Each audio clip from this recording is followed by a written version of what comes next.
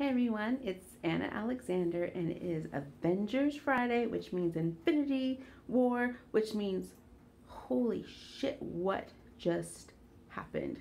Okay, so Captain Awesome has been teasing me for the last year that lots of crap happens in the first 10 minutes. And it was true, and it's horrible, and it sucked, but I was expecting it, so I was kind of okay. But the rest of it was just there's lots of action sequence with big spaces of some humor, little lightheartedness, and you actually needed it. Otherwise, you were going to be just too intense the entire movie and you wouldn't have survived. And for two and a half hours, this movie cooked. It's crazy. So, the big finale that everyone's going to probably be talking about starting tomorrow. I would be more upset if I didn't know what happens in phase four or what little I know what happens in phase four. So I'm not panicking.